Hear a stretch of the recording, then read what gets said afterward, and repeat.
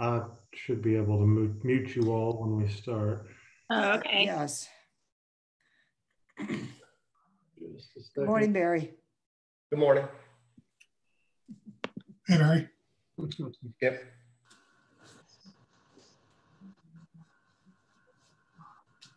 Joe, if you mute everybody, can we unmute ourselves if we need to talk?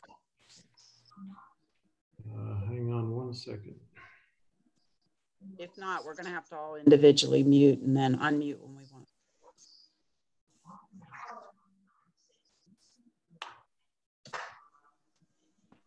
There's a setting where you can allow people to unmute themselves. Yeah.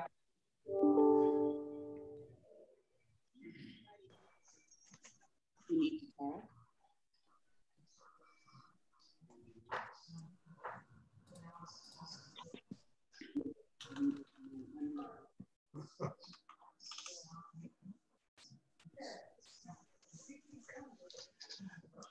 So are we going to vote on who has the best background? If so, I think Skip wins. Yeah, Skip looks like an ad for the island. You can all do that with Zoom. It's under your settings. You can pick That's what what you Skip want. uses when he tries to sell his house. He puts, All right, we are now streaming live. Skip, if you want to get us started, um, it's a couple minutes after nine. All right. Well, the, the, obviously the clearest way to get started is to start by saying thank you to all of you for taking the time to uh, go over some of these things that we want to cover today. Uh, We're working on our, uh, uh, the part of the uh, comprehensive emergency plan that would be our pandemic response. Uh, I, I think our, our goal is is go over what's being called reopening in our uh, language, I guess, in the CEP. It's really uh, the part of the recovery phase that we would look at uh, for a pandemic situation. Um, Scott Cave, our consultant, will lead us through. He's got the, the agenda, which we'll work on. Uh, this meeting format with Zoom is a little bit new for for me and for a lot of folks, I assume. Uh, we want to hear from all of you, but clearly not all at once. Uh, so uh, let's try and uh, stay on mute. And when you want to do something, either raise your hand or somehow indicate that you have a comment that you'd like to make, and we'll see what we can do to get you going on that. Um, kind of what we learned in elementary school, I guess, huh? All right. Um, Skip, if I can just interrupt for one second. Um, I'm going to let each person individually control their own mute. Um, so if you're not talking, if you don't have a question, if you can put yourself on mute, just click the little uh, microphone button um, on the bottom of the screen. And then if you have a question, you can go ahead and um, unmute yourself uh, to ask your question. I, I also, uh, in, in doing this with other groups over the past few weeks, I think if you're on mute, uh, if you just press and hold your space bar, that will temporarily take the mute off and you can say something and then release and you're back on mute again. So if that's easier. Okay, uh, let's see, with, with all of that done, uh, Scott, I'm going to turn it over to you. Scott is not uh, showing us video for technical reasons, which I think only he can understand at this point. But Scott, if you will start us through, we'll be underway. Okay. Thank you, Skip, and good morning, everyone.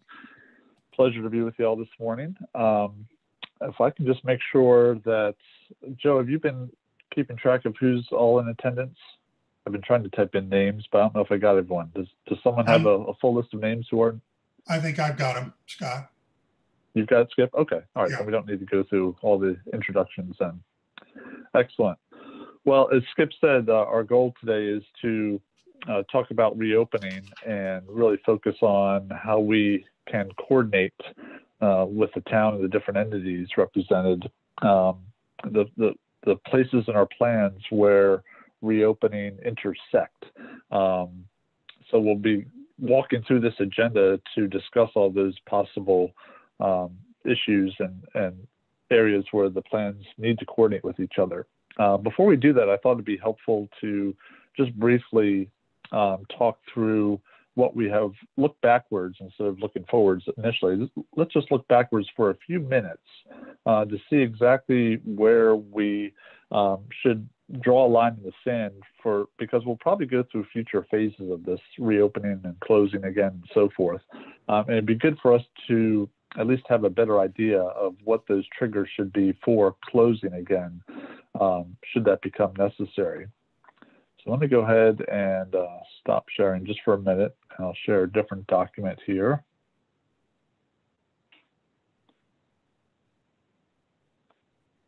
Okay.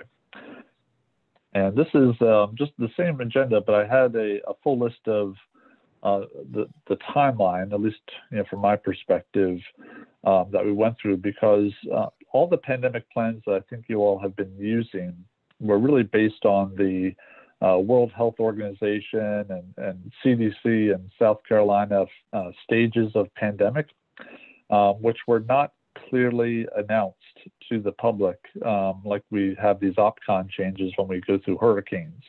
Um, so therefore, I think it was difficult to understand where we were uh, in the overall pandemic as things were evolving, and it, was, and it was also difficult to understand what what actions we should be taking in response. So going forward, I think we'll have to revise those triggers for pandemic. Um, and it seems to me that the travel alerts uh, are probably the best indicator of uh, where we are in the overall pandemic and um, what should be triggering certain actions on our part. Uh, if you look at the initial travel alerts, obviously there were some very early, um, which would probably give us an idea that we should at least be monitoring things. Uh, but right when the World Health Organization declared a global pandemic back on March 11th, um, the CDC responded very quickly within 24 hours with this global travel alert level two.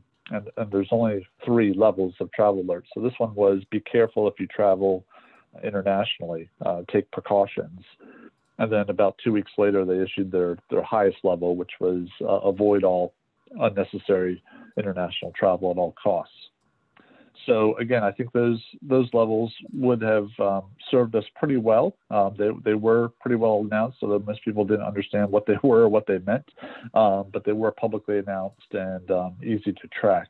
Uh, looking back on it now, um, and then of course our governor issued a, a stay-at-home order you know, a few weeks after these travel alerts. But again, those travel alerts would have um, provided some important triggers for us to look at, you know, when to start having more serious conversations about closing public buildings and services and so forth, even before uh, the governor had issued his uh, stay-at-home order. So again, I, I don't want to spend too much time here, but I just want to make note that we'll we'll probably need to update our plans going forward um, to use these travel alerts. I don't know if uh, at some point over the summer or next few months if we might see these travel alerts relaxed or not. Um, so they may not be the best indicator of uh, going with this pandemic, but certainly for new pandemics, I think those travel alerts will will serve us well. So with that being said, let's now go ahead and, and move forward with the rest of our uh, discussion on recovery and reopening. Um, I want to first turn our attention to the criteria, just like we were talking about the triggers for closing. Uh, we really need to identify criteria or triggers for reopening. So um, let's talk about these three options. We have governor's order, which has already been um, been put into place um, and is continuing to evolve over time as certain other businesses are are allowed to reopen. Um, Charleston County um, you know, considering reopening public buildings. Uh, but then there are other triggers besides these governmental announcements and orders. There's also some considerations for, you know, do we have enough resources and staff and so forth uh, to support reopening, which I think are more on an individual basis. Um, but in terms of criteria for the town, let's start with the town first. Um, Mayor and Skip and other council members, uh, what do you believe are the appropriate uh, criteria for reopening town hall and, and allowing public services within town hall. Joe, I'll let you take that because I believe you're working on a reopening plan. Is that correct?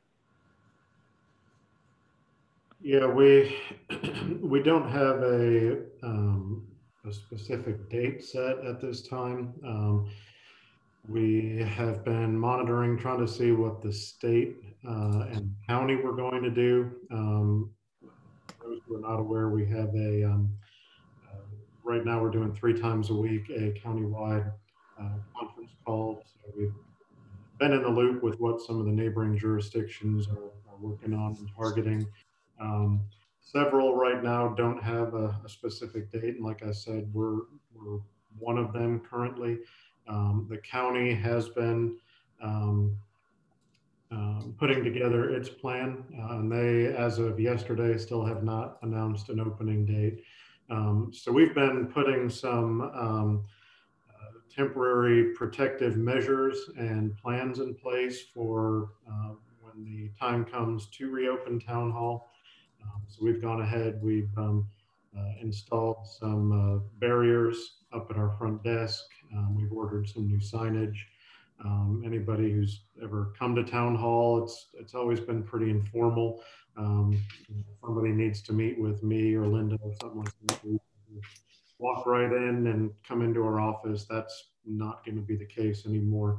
Uh, um, we've put up a, um, a barrier at our front window um, just to minimize um, contact between people coming in the door and our staff. Um, we will be, um, once we get the okay to reopen to the public, we will be um, taking out uh, the furniture from our lobby. We'll be taking out all of our brochures, uh, magazine racks, those type things.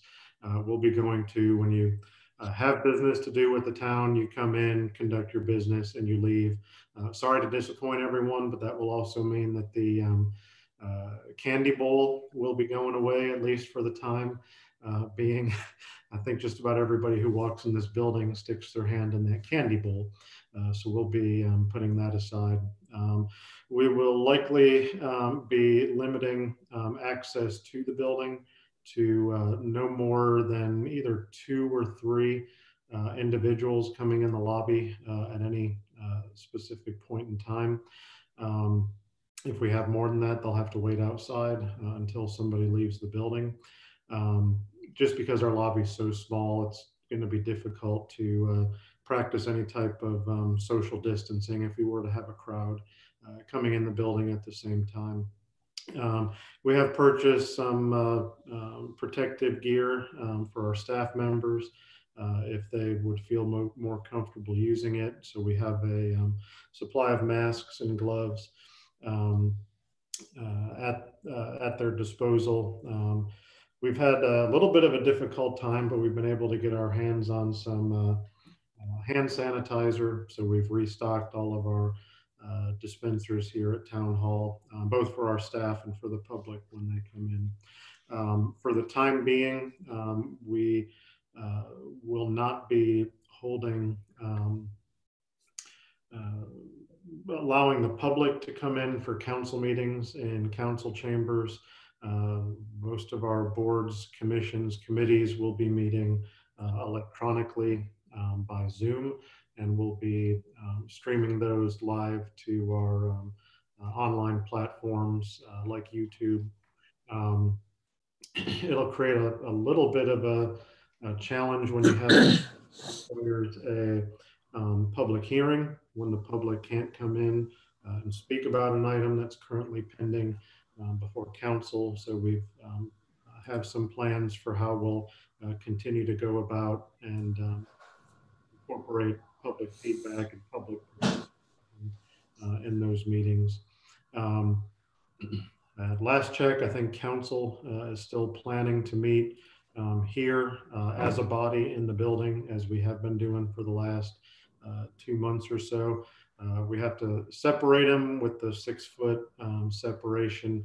Um, but I, I, believe, and, and, the mayor can confirm, but I, I believe at the uh, last time that was discussed, council was planning on uh, holding the meeting here um, as a body in council chambers. So um, we we have pretty much most of our, our plans and process in place. Really, the only thing still outstanding is um, uh, the date when we anticipate. Uh, we'll, we'll probably do it in two phases. The first one, we'll have our staff coming in uh, and working uh, again at Town Hall. Um, we've, even though we've been closed to the public, um, staff has been able to uh, come and go as needed. Um, so most days there's somebody in the building. Um, for the most part, uh, pretty much the entire day, um, picking up checks and accepting commissions and those type of things. Once we do get the go ahead to reopen, we'll bring our staff in first, um, get everything caught up, uh, processed, and then um, uh, at least a few days, perhaps as much as a week after that, uh, we'll reopen the building um, to the public. Of course, we're going to still continue even when we do reopen. Um, we'll be encouraging people to uh, continue as as much as possible to um, interact with us virtually. So, uh, you know, we'll still be requesting or recommending that they uh, submit plans electronically and, and those type things. For the most part, has been pretty seamless over the last uh, seven weeks or however long we've been going. Um, but uh, um, so that's that's basically where we stand still uh, at a little bit of a wait and see mode on dates, but um, uh, for the most part, pretty much ready to go once we get the uh, the all clear. Would, I'm, I'm sure, love to set our own criteria for doing things, but unfortunately, we have neither the resources nor the wherewithal to do anything even approaching that. So we will obviously lean very heavily on what the county is doing and what the state is doing and take take our lead from them as far as uh, the steps we're going to take for for uh, reopening.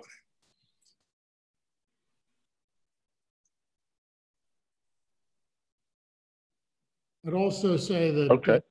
primary consideration in all of this is that we still have essentially mandated social distancing. The governor has not uh, relaxed social, social distancing, even with his orders in respect of opening of businesses.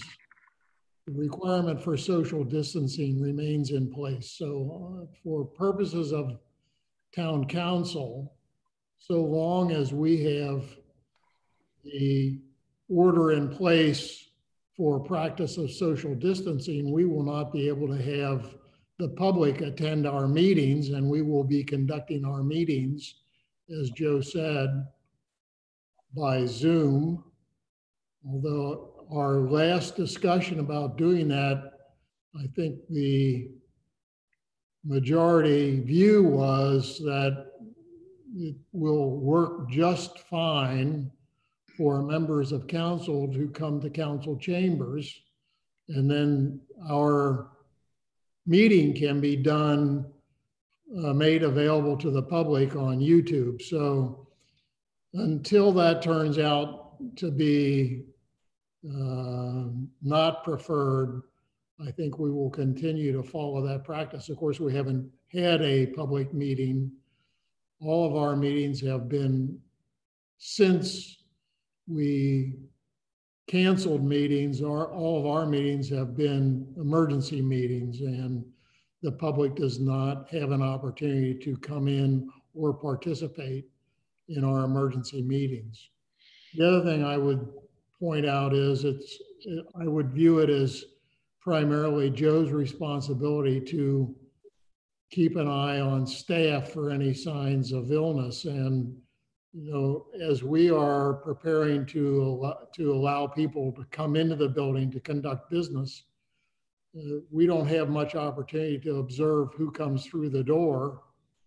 I guess the, the staff can act appropriately if someone comes in and they're coughing and sneezing and appear to be ill and ask them to step outside and conduct their business as we are now doing so by telephone or email. But so far as our own staff is concerned, I think that's really Joe's responsibility to keep tabs on the, we'll just say the general health of staff. And then should anyone present with symptoms that uh, Joe feels they should be staying home, then he can urge them to stay home and we'll carry on with who's left.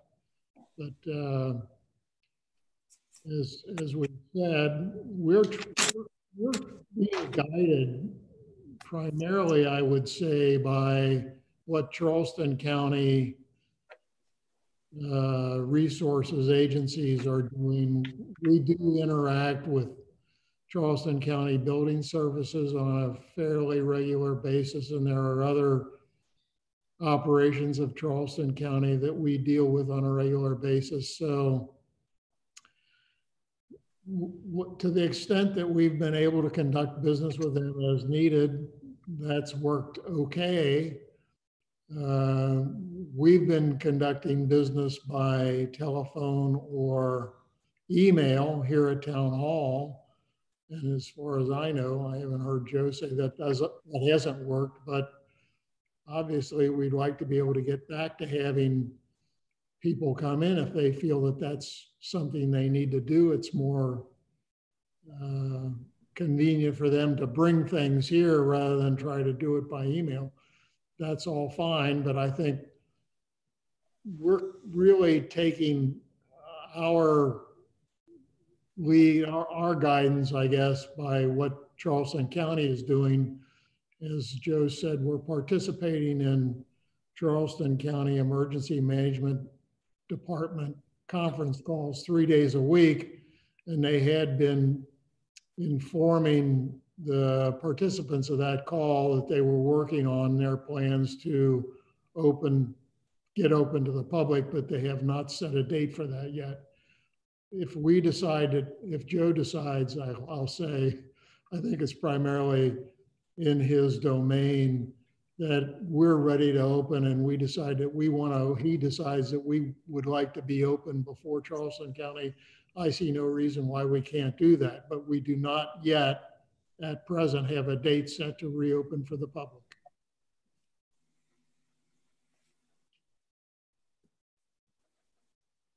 Thank you all. And, and really what I'd like to focus on right now is um, what what are those triggers for reopening town hall to the public? Do you think you're going to tie it to uh, Charleston County? Once Charleston County opens their buildings to the public, will that be the trigger uh, you think for town hall to reopen to the public, at least in limited fashion as you've described?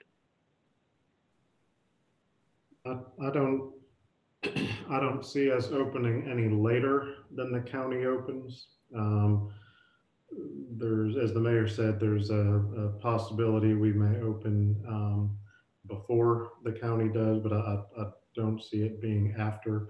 Um, really, the the two I would say most important items for us to take into consideration are uh, number one, the uh, demographics of the community, um, tending to skew more towards a um, uh, think our median age is about 65 to 67. Um, so we, we tend to have, uh, at least from what the medical experts are telling us, a, a cohort of individuals who may be more uh, at risk um, from the virus. Um, and that would be, a, um, you know, something to consider. Do we want people coming into town hall where they're going to be interacting with uh, contractors and others um, who you know may be coming in from outside the area, uh, and then also the, um, uh, the the safety of our um, staff as well. So um, I, I, would I would venture to guess we're we're probably going to be at least a week or more out. But we'll we'll wait and see. The last week or so, the county keeps saying, you know, they're still working on their plan. They haven't um, set a date yet. Um, if that seems like it's going to continue, we may just go ahead and, and schedule our own uh, anticipated date, which uh, I believe Kiawah uh, has done already. Um, but uh, that that's really the, the the items that we're going to take into uh, highest consideration the safety of our staff, the safety of our residents, uh, and um, uh, to to an extent what the county's plans are. Okay. And then um, I guess the second phase of reopening town hall, which would be getting back to sort of normal operations, right? Removing all the social distancing precautions and so forth, that would be tied to the governor's order to remove uh, social distancing statewide. You agree that that would likely be the trigger to resume normal operations at town hall? Yeah, I, I don't see, a- in, you know, with full normal operations, we're talking, you know, people can come in without restriction, uh, reopening our uh, meetings, council meetings, board commission meetings back open to the public. Um, I would say that right now is still on hold indefinitely, uh, and we will be taking our cue from uh, from the state, what the governor does, what DHEC's recommending, what CDC are recommending. Uh, at least from anything we've seen and heard, it doesn't appear that uh, anything is is on the immediate horizon in any way, shape, or form uh, for when those um, social distancing recommendations are expected to uh, to go away. Right. Okay. Thank you very much. So now that we've heard the town perspective, let's uh, let's see how that might help uh, in any way inform the other entities. I don't know if you all are taking cues from the town or if you're following your own guidelines, but uh, let's start with the POA. Uh, what triggers are you all using to reopen um, if, if they haven't already reopened Lake House and other amenities? Okay, uh, just a couple of things. First of all, Scott, uh, going back to uh, what all preceded this and so on, I just wanted to say while everyone's around this so-called virtual table, uh, we've had a great level of cooperation with the town and the club during this whole thing. Whenever we've uh, needed to get together virtually and so on, uh, we've been able to call meetings, discuss issues, the issues that were on uh, that needed to be discussed. And I think we've all um, have shared the information with one another that has been appropriate at the time. And uh, I'd like to thank everybody here who did that because I think that has been one of the uh, reasons why and I better knock on wood when I say this, this emergency has proceeded as smoothly as it has. So you can add that level of cooperation, Scott, to your notes for what has happened beforehand. Um, just to give you an idea, any of you who have worked with Heather before know this is our plan right now. I'm not gonna, there's about, what do you say there, Heather, about 10 pages, phase one and phase two of our different uh, ideas for opening up and so on. Heather is, and her staff have done an outstanding job of putting that together, and that's what we're uh, reviewing right now. So I know Heather is anxious to uh, share some of the details with everyone, so I'll let her go from here. Anxious isn't the word. Um, so we've, we've been kind of guessing, you know, our, our best educated guess on when we could possibly reopen. And I think, you know, echoing Joe's comments, we're kind of just in a wait and see mode. And I, I did notice that the town of Kiawah said that they're going to open on May 18th. Um, so we're looking at, let's say for, for our office, limited contact, one person at a time. Um, we're actually reconfiguring our front doors so that when people come in the door, they're not breathing down the face of the receptionist. Um, so we're trying to, to be prudent. Um, the lake house um, is part of the lake house, the fitness and the, well, the pool is under the auspices of DHEC and DHEC has not allowed public pools to open. We're considered a public pool. So the timing of that and the um, restrictions, if any, around us opening would be determined by them. So that would include how many people might be able to be on the pool deck, how many people can be in the pool. We're working on a, a reservation system so that we can kind of monitor whether people are, um, if we have time limits, whether people are overstaying their limit or um, there are too many people there. So we're kind of working on that right now. It's hard to find. I'm kind of looking for an open table software that we can use to do our own reservations, and I haven't found one yet. Um, so we're those are the kinds of things that we're considering. The timing that we put it into two phases with a third one to be determined um, depending on what the restrictions about distancing are and how many people can be in a facility based on the, the current calculation of five, maximum five people per thousand square feet. So we've calculated the occupancy for every room at the lake house. And when we open certain areas, we'll know how many people can be in a room at a time. Um, what I'm hearing though from people, as much as they would all love to get back to normal, I'm hearing a lot of concerns about possible uh, regrowth of the of the virus. Um, people aren't people are being very cautious, and I'm trying to take that into account when we talk about reopening. Um, you know, our, our owners are very concerned about their risk. So I'm not, as much as we'd like to get back to normal fast, I'm kind of, I'm inclined to keep it kind of slow and do it in a very measured way that, that works best for our, our owners.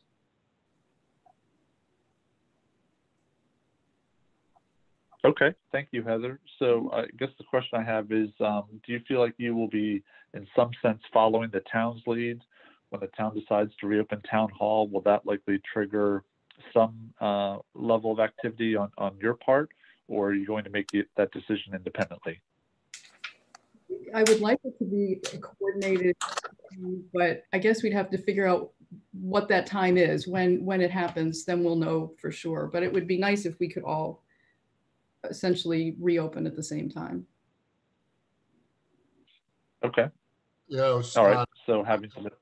Oh. Yeah. Go ahead, Dan. Sorry, just one thing, you know, we may open our offices in similar times or whatever, but again, the configuration, the uh, amount of space is going to dictate a lot of, of this and how and when we open. And we're looking at uh, a gym. Uh, gyms are still closed by the uh, by the governor. Um, when he releases that and changes that and allows gyms to be open, and as Heather said, when DHEC allows pools to be open, that's probably more uh, of what will trigger our movement to that next step or our first phase that has been outlined.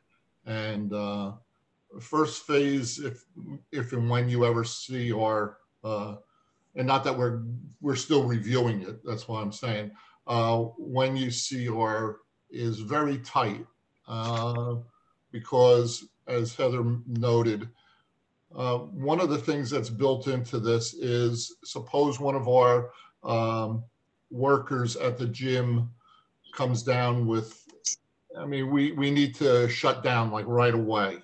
Suppose a couple of users of the gym come down with um, you know, the virus or whatever. We need to shut down the gym right away. So there is opening triggers and closing triggers in this that we are very cognizant of. So. Okay, excellent. Thank you. Uh, any anyone have any other questions for the the POA?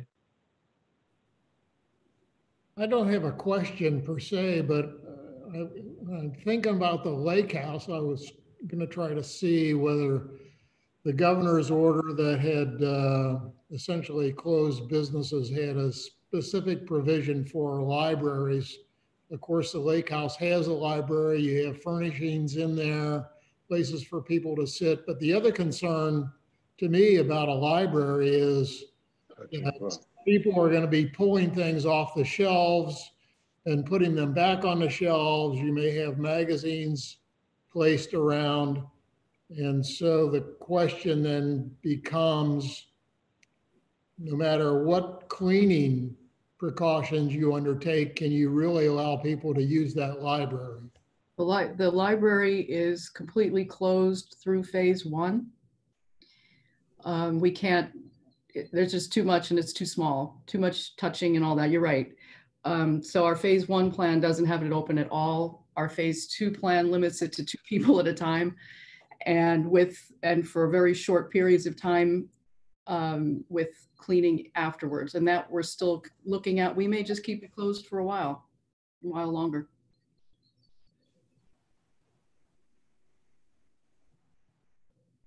I'm, yeah, I'm not Okay. thinking so much about the social distancing challenge in that space, but obviously we're still, I guess, uh, we're not confident that we know people that don't present or are asymptomatic, if you prefer, may still be shedding virus. And then the, the difficulty comes that it's not, you have no way of knowing what things have been removed and replaced from shelves or what other things in that space have been handled where a person may have left the dreaded droplets behind. That's right. Heather, just so I can uh, make sure I understand uh, clearly, can you just um, summarize uh, what what exactly happens in your phase one, two, and three of reopening? Don't need all the details, but just sort of at a, a high level. Yeah, phase one, we, I have generally at a two-week period, again, all these times are, are fluid. Um, but pretty much if the, if you, if you're thinking of the lake house specifically, the whole left side of the building is closed. Um, we're trying to limit activity in the building, um, limited access to the lobby and fitness center.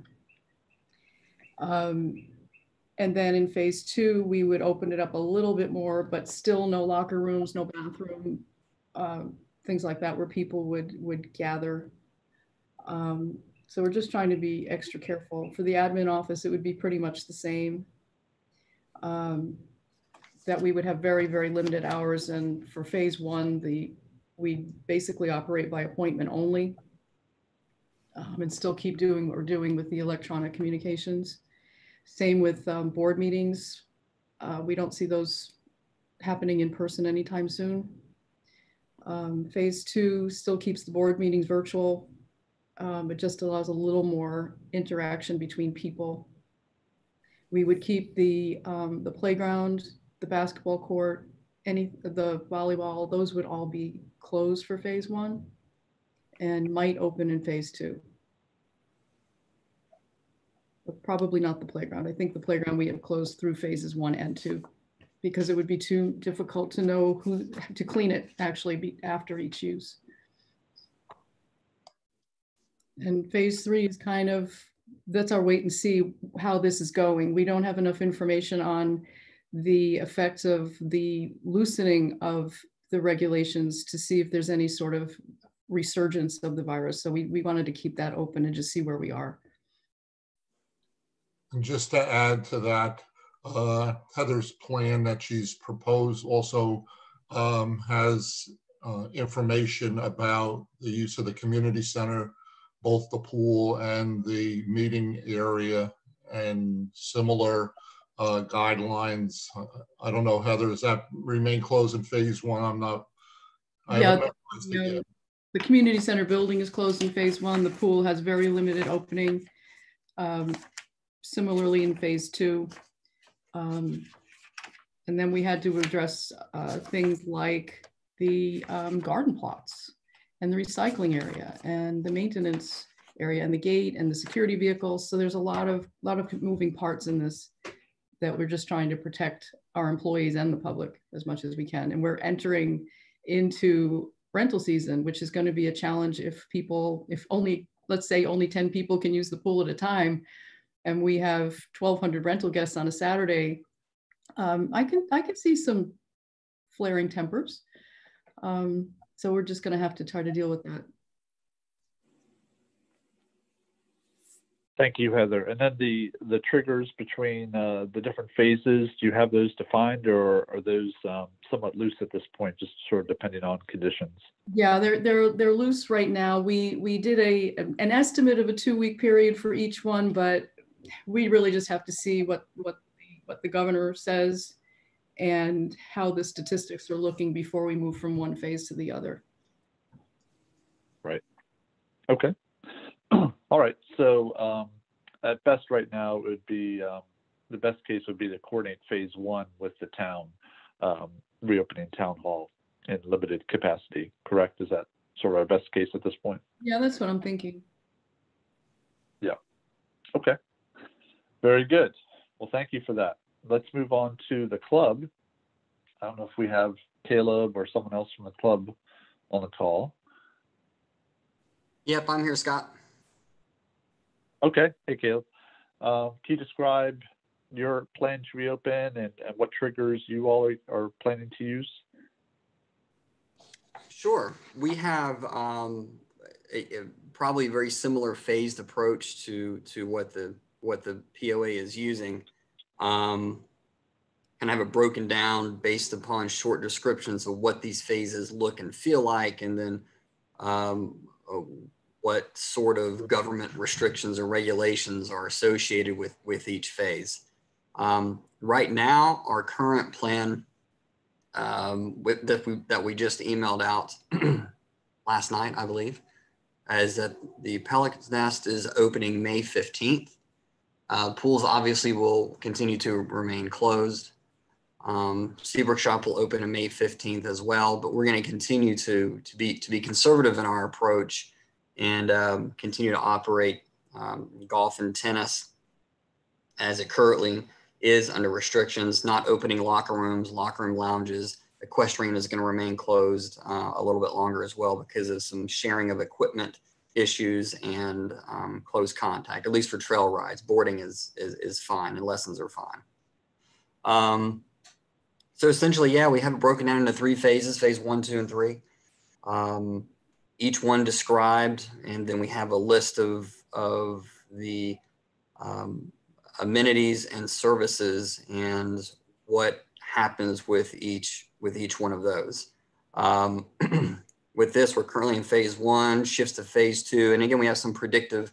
Uh, predicted some timelines as well. So essentially, phase one takes us through the end of, of May, uh, with some things starting to open mid-May, late May, and then phase two takes us through the month of June, and phase three incorporates July and August.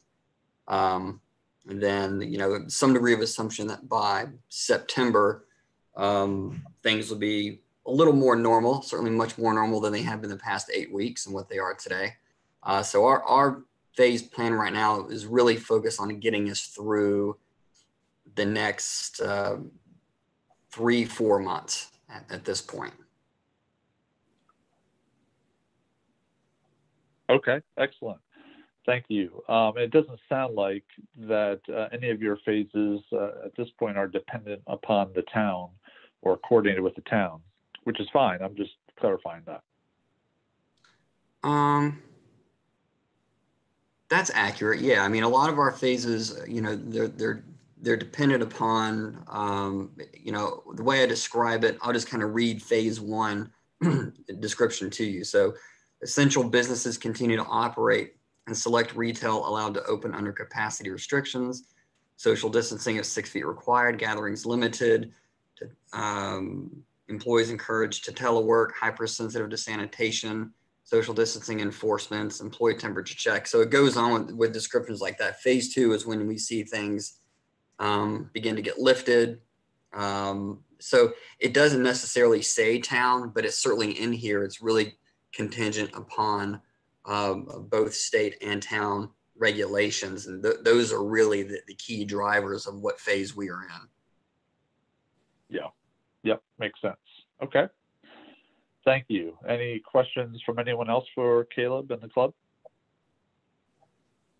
Again, I don't have a question per se, but I, I do want to make it clear that the, the town has, uh, I've issued orders that mirror and, and track what the governor's orders have done as far as uh, relaxation of the closure of businesses. So to the extent that the governor changes uh, his orders in respect of closure of businesses, that will wind up being reflected in my orders that are directed more particularly to the town.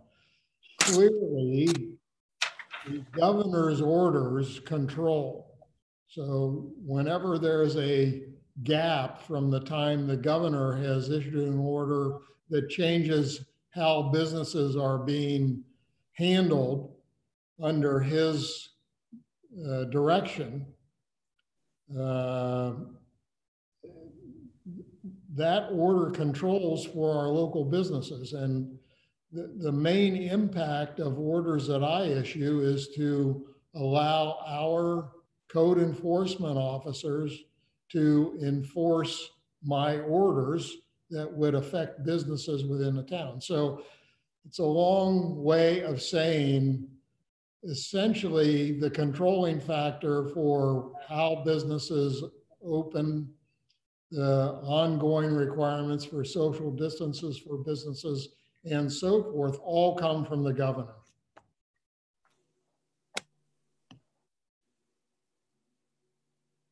Thank you, John. Anyone else have uh, any other comments for the club? Yeah, no, Scott, yes. Uh, As I, as I said earlier on the call, none of us has the resources or the wherewithal to do any kind of reopening criteria that's data driven. I mean, as John just said, we really have to follow the, the, the governor's lead. And I believe I sent out yesterday or the day before a link to uh, the uh, website being uh, maintained by uh, the governor's office, accelerate.sc.gov. Uh, and you can go into that site and really get a, a, wealth of information about what they will be establishing as criteria for opening restaurants, golf courses, uh, hotels, uh, retailers, et cetera, et cetera, which might give us a lot of insight into what we think that that uh, direction and guidance is going to be from uh, from Columbia. Scott, this is Jerry, and I I guess this question is kind of for Caleb. We've raised it a little bit in town council. And depending on the social distancing requirements and the guessing game we play with what the governor's going to do, at what point do we pull the trigger on the July 4th fireworks? Where does that fit into the phases of the club? And you know at some point the town the town pays for the fireworks. At what point do we pull the trigger on on not doing the setup and paying the rest of the contract? So i, I think that's an issue that's floating around out there because obviously we can't practice social distancing with with what happens on the fourth yeah, that's a great question, Jerry, and I don't really have an answer for that. I know I owe Joe a, a return phone call. He left me a voicemail yesterday, um, and uh, so, Joe, I'll give you a call back. But but I believe Joe's voicemail was he wanted to chat with me about about the fireworks event. Um, you know, I'm not really sure. I think that when I look at our phases, that that again that I put together based on some wording that other clubs have have used. Um, you know, by July, there's a good chance that the that the large well, I'm not saying good chance, but one of the assumptions, if you will, that I'm that I'm making. These are pretty strong assumptions, I suppose, but you have to do something to in, at least make an initial plan. But one of the things that um, is described in the phases would be large gatherings, and, and at that point, the the wording from those in the club community is, is that by by July, um, any restrictions or strong concerns on large gatherings is, is mainly focused on on groups of in the tens of thousands, such as concerts and festivals and, and things like that. Um, so with, with the fireworks uh, event, this is me just kind of just talking off the cuff. I mean, I, I, I, would guess it's probably in the neighborhood of 1500 to 2000 people um, spread, spread out over a pretty large area. So um, I would think that we would be allowed to do it. It just depends upon do we want to do it or a lot of people going to attend um, like Heather, I'm, I'm hearing more concerns as well from folks that, you know, that say, yeah, it's great that the nest is going to be open on May 15th, but I still don't think I'm going to go. Uh, we're also expecting for people to show up. They see the crowds, even though we will certainly do our best to, to enforce um, social distancing. We have to assume that there are going to be some crowds there. Uh, and they're going to, you know, basically say yikes and they're going to turn around and go home because they're just not prepared for that, uh, or they're going to be a little a little worried about that. Um, so as far as the fireworks event, not sure. Uh, Joe and I are going to uh, talk about it at, at, some point soon. Um, it kind of depends upon if the time feels right to take a year off. Um, we, we can certainly do that, but I think from a um, point of view of just looking at the numbers, we could probably still do it because again, it's, it's a pretty large area of land that folks are spread out from under. We'd have to make some adjustments, but that, that those are, that's my rambling on that, on that topic, Jerry. Yeah, so thank you. I just think it's one of those things we can't wait to July 1st to make the decision. We kind of need to Oh no, I, yeah, no, I totally agree. I think we, we probably need to make that decision. So, you know, Brian and I are, are looking at different golf tournaments and outings and things like that. And so we're looking at things in, in kind of a 60 day window. It's kind of a rolling 60 day window. I think once you get inside 60 days, you can probably make a decent decision if, if, if you if you need to decide that far out. Um, and we're you know we're pretty much at that 60 day window for, for the fireworks. So uh, I I would suspect that we would definitely need to make a decision by the 1st of June. That's just kind of my thought right now. Um, but if we need to do it later, I'm not sure how that works with booking the, the uh, pyrotechnic, you know, folks. Um, we have a lot of flexibility here at the club. It's more about how the bookings of fireworks work and how far out you're allowed to, to uh, um, cancel. So well, as long as it's on the radar screen, you and Joe, I have confidence you guys will have a good conversation, but I just wanted to make sure it was on everybody's radar screen. Yeah, absolutely. So this is Deb Lehman, and from a safety standpoint, I think you need to include the fire chief and the sheriff's office in a discussion on fireworks because they provide services during your fireworks. So would you please get input from them before you make a decision? Yeah, good thoughts. I agree. Yeah, I, I think, and the good news is that you know all these type of issues, whether it's fireworks or anything else, um, you know, Seabrook is not operating in, in, a vacuum here, right? I mean, these are the same issues that are being discussed in many other neighboring communities and municipalities.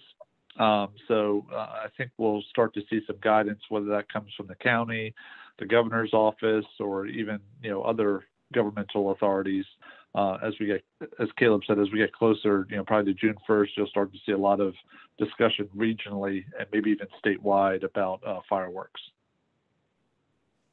Yeah, I've been watching online and I see a lot of um, a lot of communities have already started um, uh, canceling theirs. Um, we'll we'll plan to look out uh, and reach out to um, some of the jurisdictions around us to see what um, their plans are in terms of not only fireworks, but um, all, all different types of events. Um, and I, I, think Deb's point is a good point. Um, I was wanting to uh, reach out to Caleb first just to see, you know, do we think it's even feasible?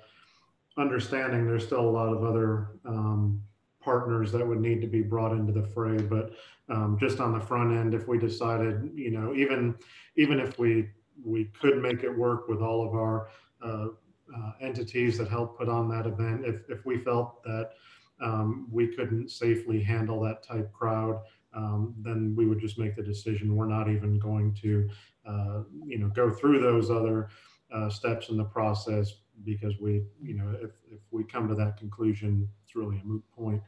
Um, I did just want to throw out, because I know a, a, lot of you participating on the call today um, do attend Disaster Awareness Day. Um, we have received confirmation uh, from the town of Kiawah, uh, who was scheduled to host that this year, uh, that Disaster Awareness Day has been canceled. Um, so that's something we'll be looking at again for uh, 2021.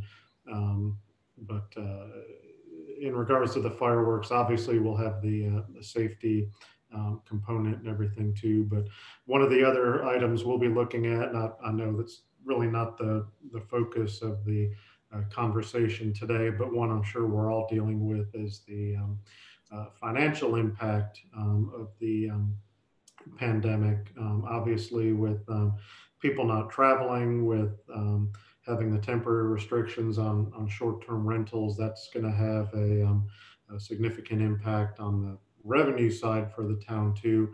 Uh, of course, we we fund the fireworks display out of uh, accommodations tax, which is generated by people who come and uh, stay at rental units on the island. So that's uh, uh, an item we would take into consideration as well. But um, I, I, won't get deep into that. That's a discussion we'll be having with council and uh, in the coming weeks. But um, I'm sure that's something that all of us are are dealing with on the um, uh, on the financial side.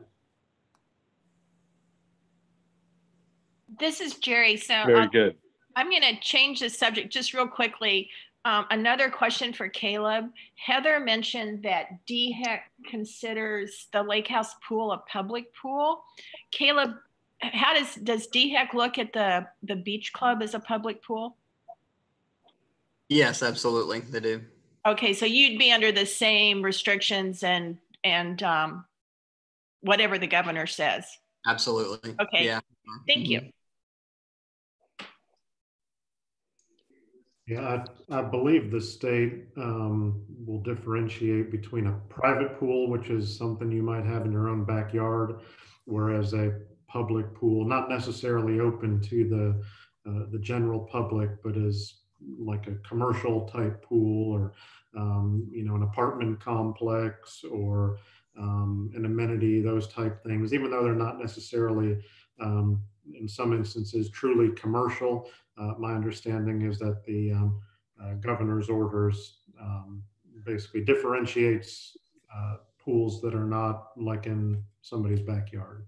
Yeah, the, the DHEC um, definition of a public pool is any pool that isn't solely for use by a single residence or for use by a duplex. Everything else is considered public. Thanks, Heather. Hey, this is, uh, this is Steve. There's just uh, a couple things I want to mention if I can. Uh, number one, I'm, I'm still concerned about short-term renters coming in from uh, northern states, in particular New York, New Jersey, et cetera, Connecticut. Uh, know, we're, we're in kind of a protected area here and we've had a lot of visitors, but they've been maintaining uh, distance and, and that works pretty well. I don't know if that's going to happen during the summer. Uh, second thing is, I uh, this may be extreme, but I'm almost suggesting that uh, renters should not be allowed to have amenity cards, which would control their access to the lake house if it opens, and to pools, etc. So again, I, am uh, these are just my thoughts. The last thing is, and the most important is, um, nobody's talking about what's going to trigger a close down again in the fall if we have a resurgence, which a lot of people are expecting. Uh, are, are we going to wait for the for the uh, for the governor to say we got to close everything down, or are we going to be preemptive and watch? Uh, and when the uh, when the number of virus cases go up again, uh, are we just going to close down ourselves, or, or, are we going to just ride it out and wait for someone to tell us to do that? Okay, that's all I have. I've got. So, Steve, uh, this is Scott. Um, you bring up good points and good questions, and I appreciate them. Uh, all of them are uh, will be addressed later in the agenda. If you just don't mind uh, holding those thoughts for a few minutes, um, so we can continue to follow the agenda, and then we are going to discuss how to prepare for the next wave of, of illness and re you know, closing again, and all those different considerations. Um, you know, as well as the impact on short-term renters and so forth. So we'll we'll get to that in due time. Uh, but if you don't mind, I'm going to try to stick to the agenda so we make sure we uh, stay on track here. Thank you. All right, let's move on to, I think we have Ned Collins here from uh, camp. Ned, do you mind talking um, briefly about your reopening plans? And again, if there are any um, coordinating points or triggers uh, that, that um, connect with the town? Sure. Um, good morning, everyone. We, if you don't know, we are closed entirely except for our staff who are still here cleaning and getting ready as best we can. As far as triggers go, certainly the governor's opening uh, up of relaxing of standards would uh, play heavily. I'm not sure how much the county requirements would, would affect our decisions. We are paying attention to what the town is allowing in terms of short-term visitors, thinking there may be some correlation between uh, a renter at a condo versus a, a visitor that we would have here. Primarily, we're trying to make sure that we're able to meet all the guidelines that uh, are coming our way. And as you all know, they're um, numerous. You got the CDC and the DHEC and OSHA and FDA. And just in the CDC, that as far as our business is concerned, there's all these different guidelines for business, community of faith, schools, restaurants, hotels, mass gatherings, parks, day camps, all those relate to activities that we have going on here. The one that hasn't been published yet, which is the most critical to our current decision making process, is the overnight camps. That has not been released yet. And that's the one that would affect our most uh, pressing decision about whether to open up for summer camp. Uh, we've currently canceled our first two large camps and hope to open up back in June 22nd. That is fairly arbitrary at this point. And we have a couple of smaller groups starting on June 6th. If we can operate within the guidelines and keep everybody distanced properly, we're going to try to um, manifest those. Um, of course, the, so back to the triggers, it's really just the standard of care that we're able to maintain because we just don't want to put anyone at risk. Does that answer your question, Scott? Yeah, I think so. Um, maybe just a little bit more conversation around. You, you said that the town's uh, restriction on short-term rentals. You know, you're you're sort of taking that as a cue, I guess, for um, how it might impact your guests coming to the camp. Um, I don't know if we want to have someone from the town respond to that. Was was that restriction intended to uh, cover the camp as well, or, or do you see that as a separate issue? The town's regulation of short-term renters, rentals is not, at this point, we have not made a determination. It, it, it the current limitation expires on the 15th of May. There will be a Ways and Means meeting on the 12th of May and, and the expiration of that regulation of short-term rentals will be a topic for discussion at that Ways and Means meeting, but we have not made a determination about short-term rentals yet. I did see that uh, Kiawah has had in a meeting, I think yesterday, confirmed that they are going to allow their moratorium on short-term rent rentals to lapse on the 15th of May. I don't know what the other coastal communities have done or are doing at this point. We, we hear from them on the conference calls with Charleston County Emergency Management Department that we participate in three times a week. But I, I don't recall having heard from Isle of Palms or Sullivan's Island or Folly Beach the specific decisions that they have made about short-term rentals. Uh, Joe may, may better recall that than I do. Uh, the other thing is, um, I don't I can't say that I contemplated that our regulation of short-term rentals impacts the camp in particular. I, I guess my view of the camp's activities was not as operating short-term rentals as they're defined in our order. So unless Joe thinks that that's not appropriate, uh, I would say whatever we do about short-term rent rentals uh, would not have a direct impact on what the camp does. could indirectly affect it only because once we have uh, allowed short-term rentals as they had been allowed in the past, uh, I, I suppose this becomes a more interesting destination for people.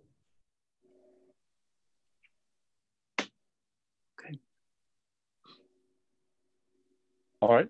Thank you for that clarification. Joe, did you have any further comments on that topic? Yeah, well, at last check, I believe Isle of Palms and um, Folly Beach are um, both scheduled to um, allow short-term rentals as of May 12th. Of course, all of this is um, subject to change. Uh, my reading on the uh, ordinance regarding short-term rentals, um, we define it to apply to any dwelling unit or property that's rented or offered for rent to any individual or group for temporary occupancy for a period not to exceed um, 28 days. So I, I would think that the camp would be uh, included in that definition.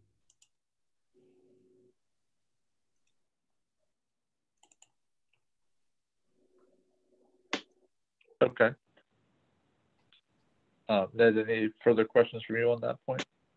Um, well, it sounds like it might be moot in the sense that our opening date, at least as we're projecting it, is is almost a month after that is expected to expire anyway. So it's, it's not that we're going to ignore it. It's just we're it's it's one of the things we're monitoring.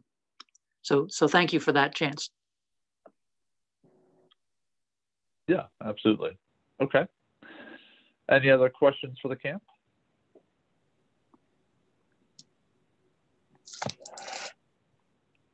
All right. Well, let's move on. Do we have anyone uh, on the call from the marina?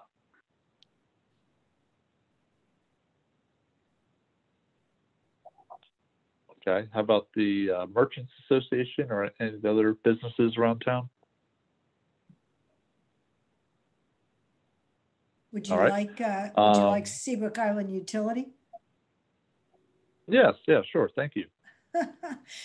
Uh, And we're really quite a bit different in some ways. Um, Our focus has been not so much uh, open and closing to the public because generally speaking, in many ways, we are uh, very public limited. In order to come to our operations, our plant, one has to come through a locked gate. Um, so, and, and rarely does the public do that. I mean, I think they access us almost uh, fairly consistently through telephone calls. Um, so we're, we're different from that perspective. So we didn't close to the public because we virtually really were never um, directly open to the public or generally not open to the public. Yes, people do come, but uh, again, they, they have to um, get through a locked gate. They have to call in. They have to, uh, you know, we have to allow them sort of access. Our concern really has much more been along the lines of keeping our staff safe. Uh, unlike some entities where the staff were sent home or they're not working at their location, we do not have that uh, ability. We are an essential business. You obviously want your water and you certainly want uh, your sewer appropriately taken care of. So, as an essential business, uh, our staff really don't have the luxury of working from generally working from home. We need to be able to operate out of our plant. What our concerns really have been have focused on is the safety of the staff. How can we keep us safe uh, from each other? Um, should someone come in, uh, one of the staff persons who might have come in um, and brought the virus in. So a lot of our concerns have been and what we've put into place have really been more along the lines of what things can we do to keep uh, our staff safe from from one another. Um, everything from wiping down door handles of and steering wheels of trucks or assigning specific trucks to only specific you know, a single person when we have that opportunity, that kind of thing. Um, but we, we've had to continue to maintain our operations. So we are in fact quite a bit different. I don't think we're going to be necessarily relaxing at all at this time what we're doing um, as far as our safety and our precautions, our measures that we're taking for one another, because obviously we need to continue to be safe to be able to run our business. Um, so we're, we're, we're a bit different, but that's about what the uh, Seabrook Island utility is, is up to in relationship to this particular uh, emergency situation. Questions? Okay. Yeah, thank you for that update. Any questions from anyone? If I, if I can ask one question, I saw an article um, online yesterday that um, a lot of utilities are seeing impacts to their um, revenues. Uh, I know the article was dealing primarily with electric utilities. Um, is the utility commission seeing any impact at this time? No, we we have been asked, you know, our concern in regard to that, Joe, has really somewhat been our um, our folks up at Freshfields uh, and providing uh, sewer and water, but mostly sewer up at Freshfields. Um, and we did receive a request from one of the entities up there. Would we consider um, reducing our rate or you know modifying or or what have you? Uh, and we did respond to that. Um, and basically, our response was is that we would look at we we could look at that, but in order to look at that single entity, we really need a sense of uh, what is the overall picture? You know, are we getting many, many uh, entities or folks coming to us and saying to us, please reduce our our cost of our sewer or you know what have you. So, um, you know, to to address one individual or entity, we really felt the need that we needed to have a bigger picture. Uh, and so that's primarily what we're doing. As of right now, I'm not hearing uh, and I would be hearing um, from our, our manager that we're getting a lot more requests. The, the one impactor request that we did have was the governor had made a recommendation to the utilities that they not shut off uh, particular utilities if uh, individuals failed to pay, pay their bills and that included you know we we took that and we addressed it. And in fact we did put something i put something out on Tidelines that basically said that um, you know we would not at this per, per this time shut anyone actually off. However the penalties and fees that an individual would get for failure to pay uh, are still continuing um, but we would in fact not shut anyone down at this time. Um, and and so you know that's how we've dealt with that. We we periodically get people that fail to pay, and by and large, the feeling was in looking at the individuals that had failed to pay, they're not failing, at least as best as we can tell, they're not failing to pay because of COVID 19 and the circumstances of not being um, earning their, their livelihood. Um, they're not they're failing to pay because maybe they're not coming down here and picking up their bills uh, because they're away. And so, you know, part of what we had said was, is, you know, you can pull your bills online if you're not, you know, physically down here and getting your mail forwarding or, or what have you. It, again, generally those that are not paying, they're, they oftentimes are repeated customers that have failed to pay many, many times way before COVID 19 even came into an existence.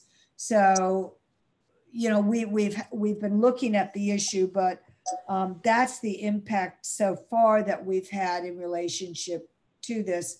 Um, I think how much financially an impact we might have. We may not realize until a little bit down the line when uh, people are not paying their bills on time.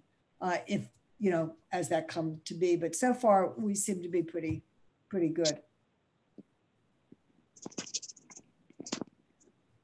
Okay, thank you for that clarification or that answer. Um, any other questions for the utility?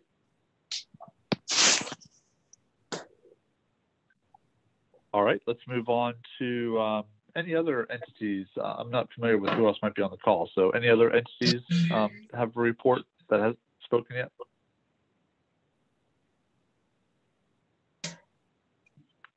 All right, very good. Well, then let's go ahead and continue to move through our agenda here. So I think we've already talked about the phases for reopening here.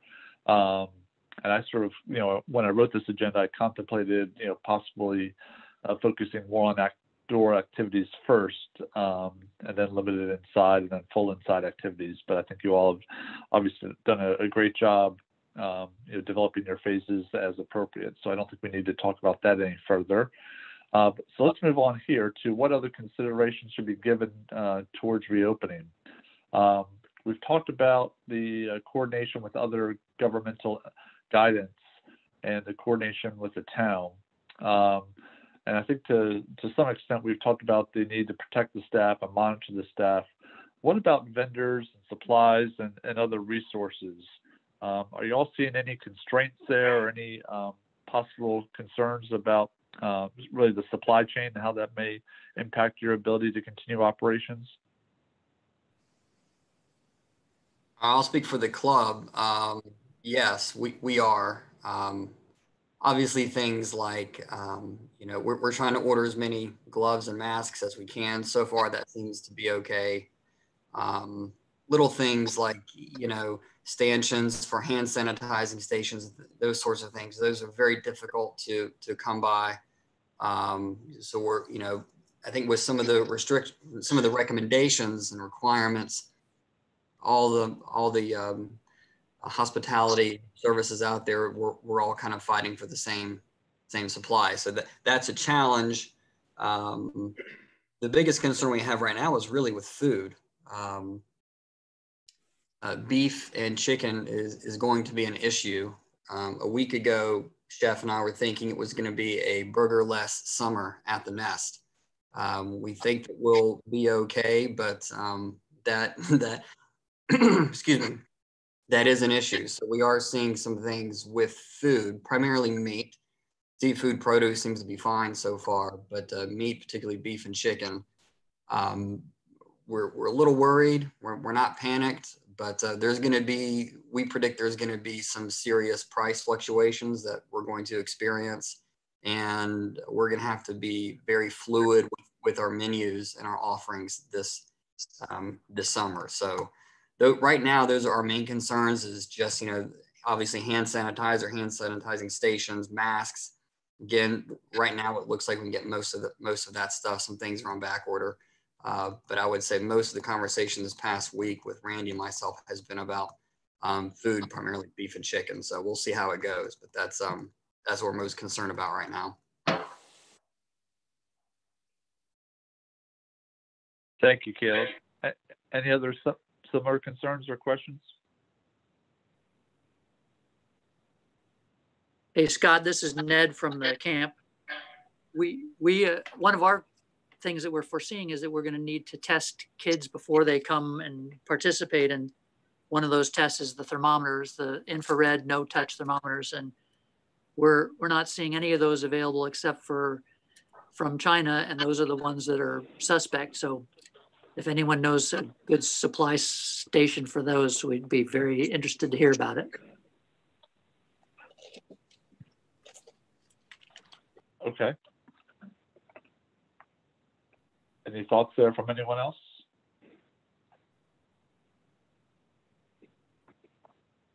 Okay. Yeah, I understand, you know, just like all, all the other PPE type of uh, supplies and equipment, you know, those items are just on such high demand and short supply uh, especially when you take China out of the equation. Uh, hopefully, Ned, by you still got some time into June. Hopefully, some things will open up over the next couple weeks. I like your optimism. Thank you. Absolutely. We're All running, right. Any other thoughts or questions about supplies? Uh, we're running into the same issue with things like hand sanitizer and uh, cleaning supplies. And um, actually, there, there are a few companies that are producing some alcohol-based sanitizer here. Uh, We just went and uh, bought some a few days ago at a plantation pharmacy, compound pharmacy. Um, we were able to replenish our, um, our supplies there. Um, we, we'd also looked at the uh, Firefly Distillery in North Charleston. I believe they're uh, producing some in-house too, and, and I'm sure there's some others around the area.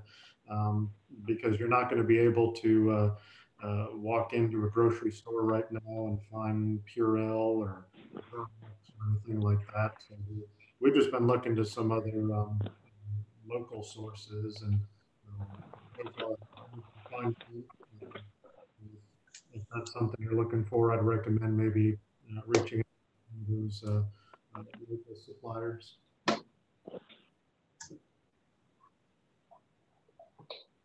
I think we got that all, Joe. You were breaking up a bit while you were talking, but I think we uh, got the the basic gist of what you were saying. Um, I guess my question to the group is, uh, you know, is there, you know, much like after a hurricane when supplies and resources are in short demand, is there um, any need or benefit to, uh, you know, all the entities sort of working together on trying to coordinate supply acquisition at this point?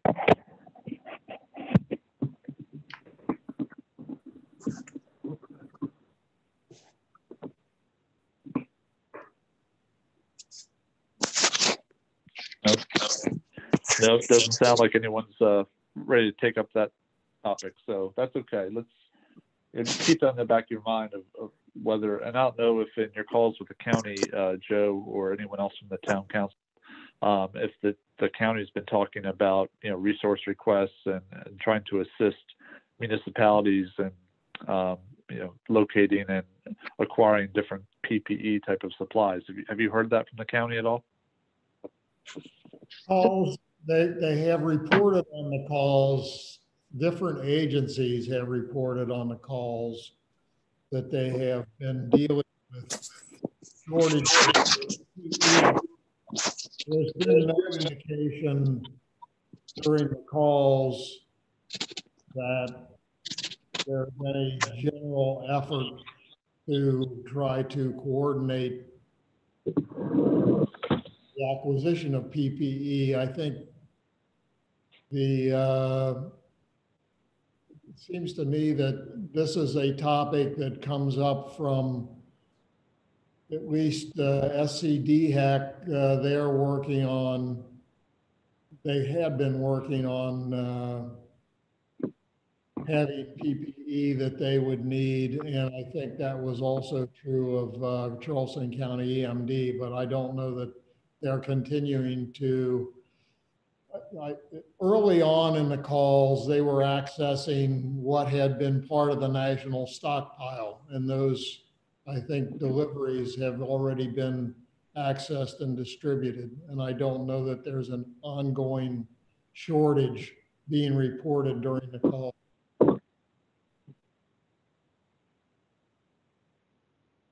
Okay. Well, yeah, my only question was if, if at some point the town is able to, um, you know, get access to some, uh, maybe restricted supply of PPE, um, you know, maybe the town needs to keep it for itself, but if the town's able to get more than it needs, uh, whether there'd be a desire to, um, cost share or, you know, share supplies with other entities, sort of in the interest of public safety.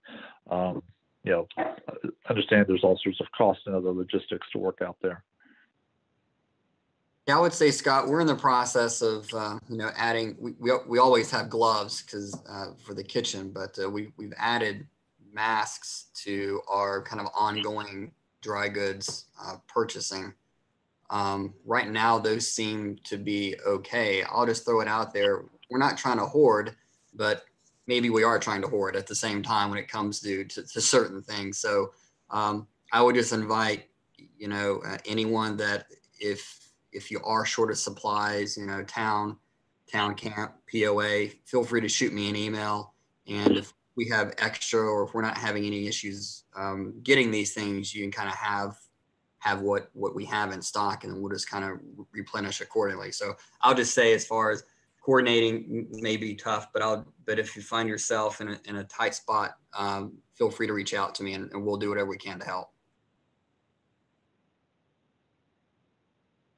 Yeah, that, that's great. Thank you so much, Caleb. Okay, let's move on then. Um, next topic on the agenda, I think, is uh, an important one for us all to consider.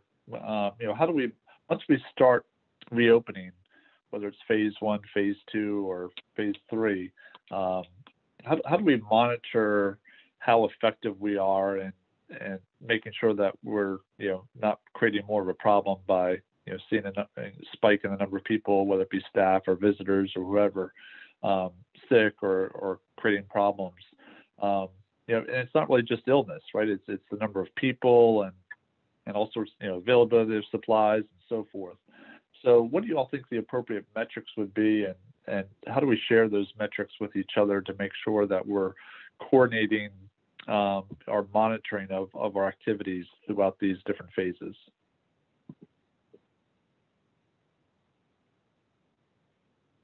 This is a, a difficulty for me because of the, as I've said a couple of times now, the, our, our lack of wherewithal and resources to be able to monitor things we'd all like to do.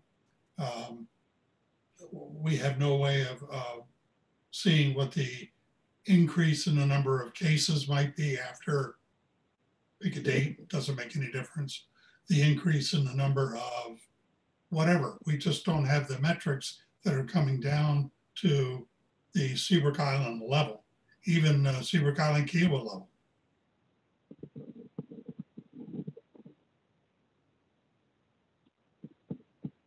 Point out that uh, we were informed early on in the calls with the county that if there were a positive case within a municipality, the municipality would be informed. To date, we have not been informed of the occurrence of a positive case within the town of Seabrook Island. So to the extent that we can rely on having been told that we would be informed, I would say that so far as the town knows, there are no positive cases within the town of Seabrook Island. The data that we get is primarily sourced by South Carolina DHEC. They do countywide and zip code reporting. The zip code reporting includes reporting for 29455. That does not tell you anything other than within that zip code, there are a certain number of cases which have been confirmed positive. Confirmed positive means that there was a test for the presence of the virus and it was found in someone who was tested. I think the most recent number of confirmed positive cases in the 29455 zip code is 16. So out of all of that, all of the geographic area that falls within the 29455 zip code, uh, I think the, the number of confirmed positive cases was 16, not, not a big number but we are not aware, at least the town is not aware of there having been any confirmed positive cases in the town of Seabrook Island. We also need to be aware that the town does not undertake, we do not have facilities or the resources to undertake testing. There has been a recent rollout by the Charleston County working with Fetter Health to have uh, testing. You can have screening and testing at locations uh, around the county. And I'm not sure if I have the date right, but I think the 12th of May, there will be a, a uh, screening and testing being done at the Johns Island Library. So anyone who wants to be screened and tested cannot get test without being screened first. Based on the screening, there'll be a referral for a test, but if you want to have, if you want to go through that, you can go to the Johns Island uh, Public Library, and I'm, I'm very confident that the, date of that test has been, uh, of that event at the Johns Island Public Library has been published on Tidelines.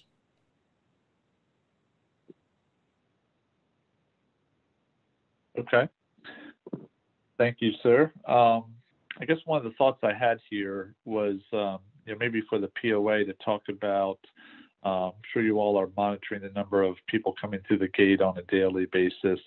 Um, is that information maybe that should be shared, uh, not necessarily daily, but just as you see the number of uh, people coming through the gate, you know, escalate or hit different triggers. Uh, you probably all know kind of what the normal is, right, for different times of year. Um, would that help us all to kind of understand, you know, just in general, how things are changing on the island with the number of people here and how that might inform us as to, you know, to increase our vigilance for monitoring and maintaining social distance within all of our various public places? Uh, just to that uh, issue, since for at least the last month or so, we've been out, we've been monitoring the guest uh, passes that come through, which in the month of April has dramatically decreased as compared to April of a year ago. Okay. Uh, April is always a popular month here. And uh, guests, and in fact, once the um, emergency came in in the middle of March, guest passes and guests through the gate drop, dropped dramatically. Um, when people say that we have a large group of people, it is a reflection of property owners coming down to access their property. They may usually rent it. They may usually not come down in April because kids are still in school. For various reasons, they have, they are property owners. They are come through the property owner lane, or if they come through the guest lane, uh, they are treated obviously as property owners. And it could be also their families invited guests. So the number of true guests have dropped dramatically. And that is reflected in the, um, that was reflected until the short-term rental uh, went in, was reflected by data from the rental agencies. They had cancellations uh, all over the place. One of the other things is people were saying that the beaches are somewhat overcrowded, especially on weekends when there are no amenities open, such as the beach club for uh, at the club's properties or the lake house pools or even the lake house facility, everything is closed. Basically, the only thing that's opened is the beach. And so therefore people are taking advantage of that in this, you know, nice weather we've been having. So yes, and uh, I know the town has been with their beach patrol enforcing social distancing rules with that. We put a process into place where we have shared uh, anything that has come up uh, through our data analysis of guest passes. Heather has done an outstanding job. She does it uh, a couple of times a week our um, um, person with the security, um, Patrick, uh, was Patrick was on here, I think, a minute ago. Maybe he left. Yeah, I'm still on here. Oh yeah, there you are, Patrick. How you doing? Good. How are you? hey, maybe you could tell some of the things that you've been, Patrick, and this is the first time Patrick and I have had a chance to meet. So uh, it's, it's nice to finally uh, get a chance um, to talk with you. Maybe you can uh, speak to some of the things that your group looks for in the data as they go through the gate. Um, I'd say really the only risk wise um, going forward, and you kind of touched on this with the nice weather we've been having. Um, there's definitely a, an uptick of uh, people calling in visitors um, and us issuing visitor passes over over the weekend. A lot of people going to the beach, um, and we did get some calls about kind of some crowds out on the beach, but know the beach patrol kind of uh, squashed all that and upheld the social distancing. Um, other than that, it's been it's been a little slower with contractors. Uh, they're still coming in, um, and I'd say about the same as it has been through this whole situation we've gone uh, concerning property owners. Okay. Anything else, Scott, that you can think of that you'd like to have a, us answer? Yeah, I guess I'm just wondering if um, if the other entities in the town, you know, think there would be any benefit. I mean, I don't even know if if SAPO would be willing to do this or not, so I'm just throwing it out as an idea um, of, of just providing, you know, through email to the DRC or something like that, you know, periodic updates to say, hey, you know, we just hit whatever the benchmarks are, a thousand guest passes or, you know, 500 or whatever. The, like I said, whatever the different benchmarks might be that would make sense just to give everyone kind of a, a, clue as to how the, the population of the island is changing over time as we go through these different phases. Would SAPO be willing to do that? Would there be benefit that you all think the other entities uh, in receiving that information? What I'll do is I'll take this up with Heather. I don't see why not. And anything we'll um, share it with Skip as far as as the chairperson of this group. And then we'll go from there he can disseminate it as he sees fit. So I know we've been sharing, Heather's been sharing some things with Joe regarding, you know, possible enforcement issues. We worked that out a while ago.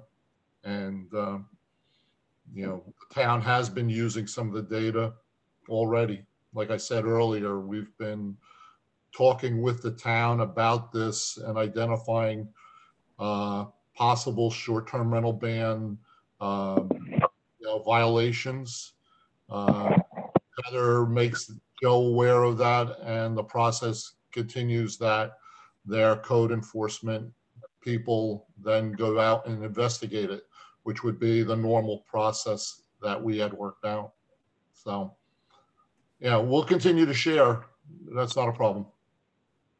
Yeah, if I can, Scott, I just wanted to take a second to uh, to thank Dan and Heather uh, and Patrick for their assistance. Um, they're providing us regular information uh, on um, folks coming through the gate, uh, including um, uh, potential um, rental property violations. Um, we have been using that information and actively um, going and investigating um, those uh, those potential violations. Um, and then also when we get um, calls from uh, residents uh, who are concerned um, about what may be going on um, near them, uh, we've been able to uh, from the POA as well uh, and use that as part of the investigation. That's been um, hugely beneficial for us as we've we've been enforcing the uh, emergency ordinance, and I just wanted to uh, take a second to uh, uh, thank all of you uh, for your assistance with that. No problem. Heather, have you been hearing some of this or? Yeah, I, I have.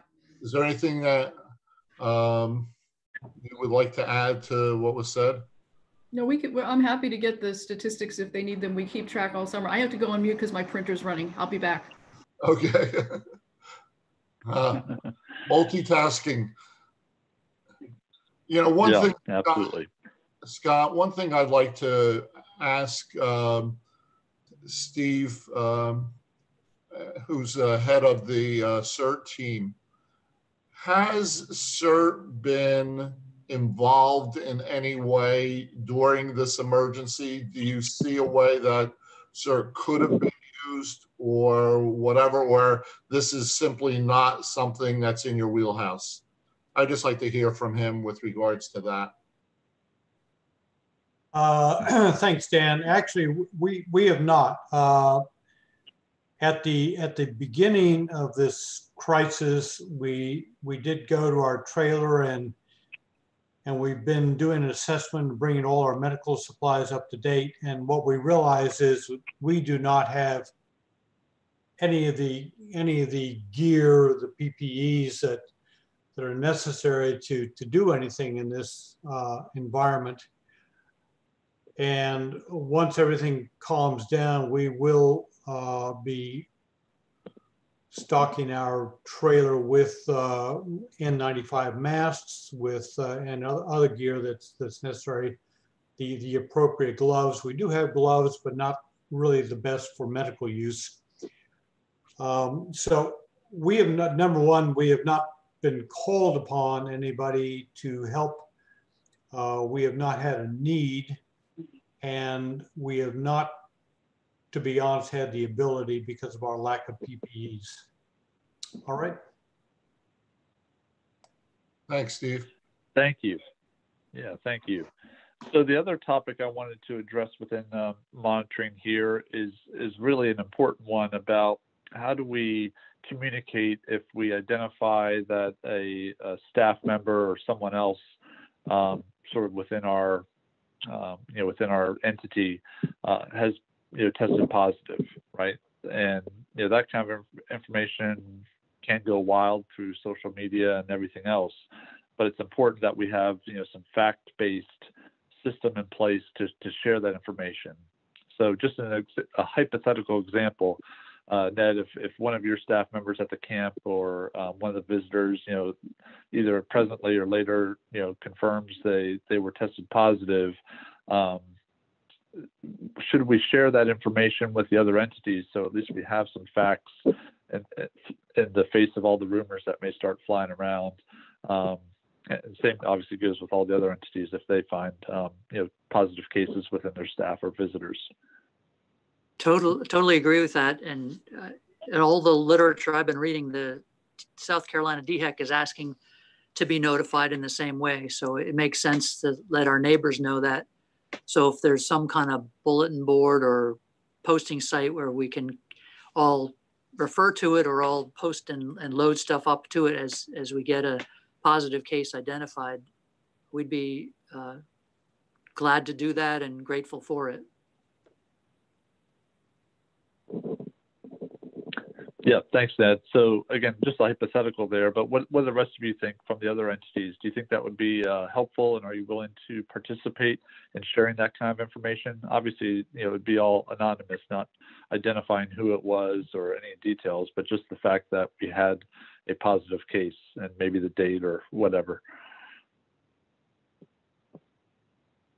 Uh, just, we've talked about this several times and in consultation with uh, our attorneys and all that with regards to what public records are we allowed to share uh, as far as personal records, excuse me, not public, personal, personal information about people without them giving permission to share it. Um, Heather and I have been participating in quite a few webinars from around the state from homeowners associations. And the, I would say, and I'll let Heather speak later, but my take from that is the right answer, there's no right answer. Some of the attorneys who say is share the information. Some of the attorneys say absent a release from a person, you're not allowed to share it. So I guess it just depends on what attorney you have that day. My apologies to any attorney uh, listening in here. Um, but uh, depending upon the attorney you get that day is the advice that you get. Heather, is there anything you wanted to add to that? I mean, am I wrong uh, with No, that's, that's what they were saying. So um, I could see us maybe sh- sharing amongst ourselves, but uh, I would be very careful, especially if the person wants to remain anonymous if we find out about it or whatever. Uh, that's, you know, I would consult your legal uh, people with regards to that before doing anything. So, Yeah, I wouldn't advocate at all sharing, you know, personal information, right? But I'm talking more just generally that, you know, the POA staff is is confirming that we had one staff member, you know, test positive, just something general like that. Is that is that the context in which there was disagreement whether that was allowed or or were they talking more about sharing, you know, more personal details? it was more sharing if a case comes up in the associ, you know, wherever the association would be. So if, if somebody tests positive for it, what is our, the context of the discussion was what is our responsibility as a homeowners association to share that information with a, the rest of the association, um, uh, or other entities or whatever. Um, so it, it was very, very interesting. Yeah. Um, Scott, I would say we, um, uh, Kiawah Island Club had had this happen to them early on uh, in this, and um, we were able to get a hold of the email that they sent to their membership, and I, I they s- handled it really well. Um, we've been blessed so far so not have had to do this, but we've had a lot of conversations about if this were to happen, how would we handle it? Um, we we we would probably uh, communicate this to the membership. Uh, you know, probably um, simply state that you know we've had a uh, someone test positive um, and, and list what we've done to to do what we can to prevent the spread accordingly as far as um, informing, quarantining those individuals that have come into contact with this person based upon the parameters, you know, that the CDC has said, you know, if you spend more than X number of minutes with them and, and, and that sort of thing. So um, I would lean toward we probably would communicate something just to let people know that we recognize that there that there is uh, that there that there is a case um, and what we have done to you know to to try to box it in to the best of our abilities and just and just hope that it it wasn't in an area that would um, dramatically um, obviously first and foremost impact a lot of people's health. Um, uh, but also that wouldn't that would not dramatically impact the operation or any services to the to the um, members. But um, I, I would I would think we would we would communicate something that would that would most likely be the avenue that we would take. Obviously, not use anyone's name or not describe it in any fashion where you could quickly narrow narrow down who who it could be. So we'd be careful with that. Yeah, one of the things we would probably look at is if, let's say, one of our workers in the lake house came down with something, we would probably go and try to, as they're saying, contact trace. You had some sort of uh, contact with this person. I don't know how far we would be able to go, but I'm sure some health organization would would be able to do that, or whatever. I mean, we're look we were looking at a couple of different things. One being, as uh, Caleb just mentioned, uh, a worker, but then there is also the issue of a community member. So, and I think both of those are, are two different types of situations. My recollection Yeah, is so we were informed early on that employers would be informed if one of their employees had a confirmed positive test. And the employer uh, would then be, I, I would speculate, involved in the contact tracing. So in other words, if a staff member of the club or a staff member of the POA is a confirmed positive, then I, what I would expect to happen is that the club or the POA, whoever was the employer, would then be involved in the contact tracing that would be undertaken by the health services. So to the extent that SC DHEC does contract contact tracing, I would expect the employer to be involved in that contact tracing. I, I don't know how either the club or the POA would become aware of a confirmed positive of a member. Uh, I don't question that it's, I'm not saying that it, it couldn't happen if, if the club or the POA were aware of it. It seems to me that you would be well advised to uh, consult with counsel before you start releasing any information that you happen to uh, receive because it's entirely the private information of the individual who was confirmed as positive and unless you have a, re- a release from that person I, I don't think that you are in a position to be able to release that information even though you have it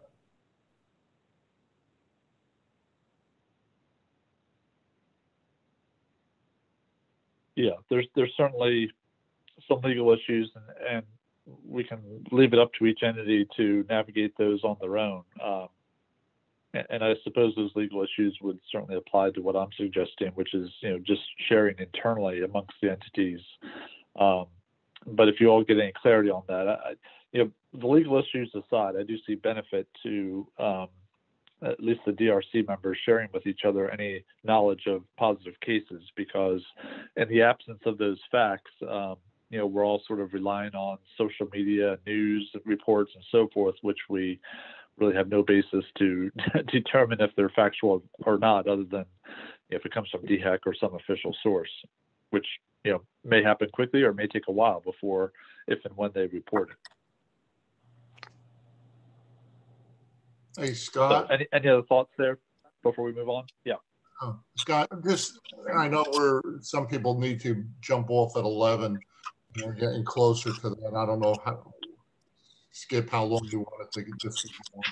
Anyway, um, my question is this, and we don't have to answer it today, but one of the things that is rapidly approaching on June 1st is hurricane season. And we start talking about evacuations and what to do and so on. And that's been a major, um, you know, focus of this group for as long as I've been it for the past couple of years.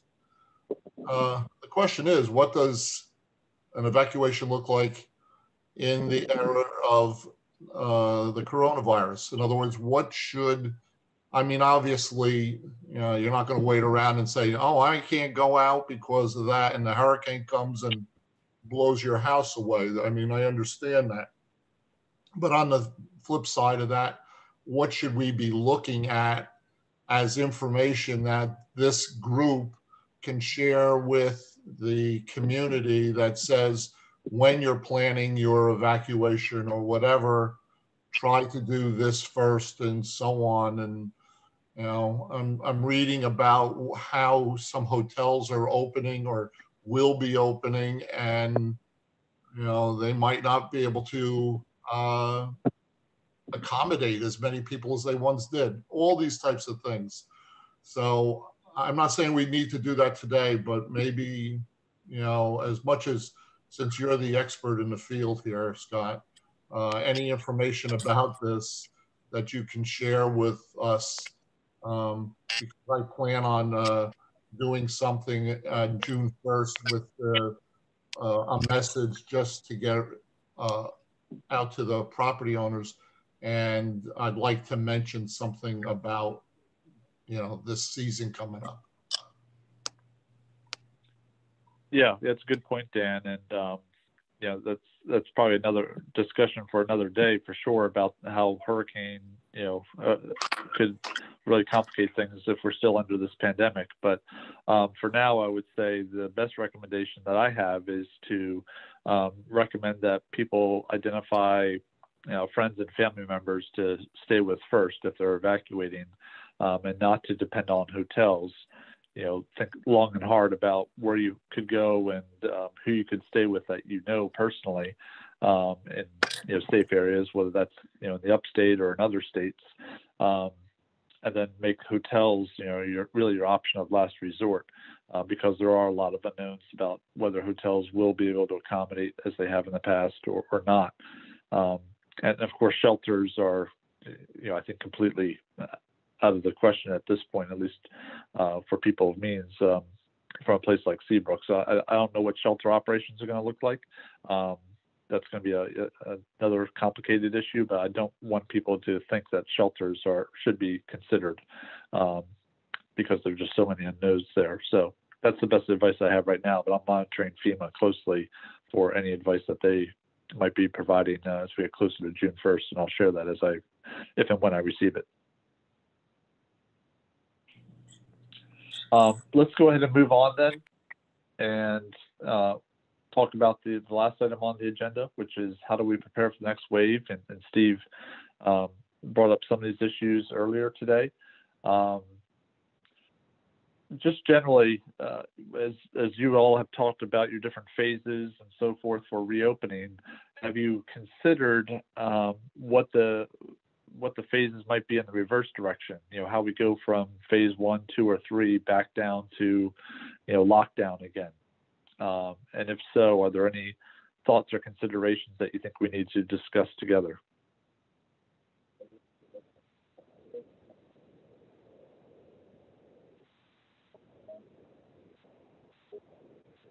Um, yeah, Scott, we, we've uh, the club has um, uh, we've looked at that, basically taking our current phased plan on how to reopen, and like you said, just simply reversing it. Um, I've kind of gone back to research some of the email blasts that we did just to refresh my memory on the exact order of how we closed things and how we restricted things starting around March 15 or 16, something like that. Um, and um, yeah, I think it's just a, a matter of, um, like you said, just having the same kind of phased approach that we've established now for reopening, just flip it. Um, and again, just kind of following whatever the most likely, I would say, following whatever the governor um, and, and, the, and the governmental entities recommend, if not, you know, maybe acting a little faster if that's what the community wants. But certainly no slower than, than, what the government would want. So, um, yeah, we are looking at that. Um, and that's something that we're that we're working on now, just in case there is a, a, resurgence of this in the future. Right. Yes, I would encourage y'all to think about. I mean, I, I agree with that comment exactly, um, Caleb. You know, no slower than what the governor um, prescribes or, or, requires. But um, as we saw coming into um, this current, you know, phase of the pandemic, um, you know, the governor did, uh, you know, sort of take his time in, in providing that lockdown order. So, um, and I think many of you probably started shutting down, uh, you know, possibly before then. So, you know, just think about what those uh, internal triggers might be. Um, you know, if you're waiting for the governor to give an order, but yet it, it just seems like uh, we need to take action in, in advance. Um, you know, might be worthwhile to think about what those internal triggers should be to start shutting things down and go in a reverse direction. So, any other thoughts there?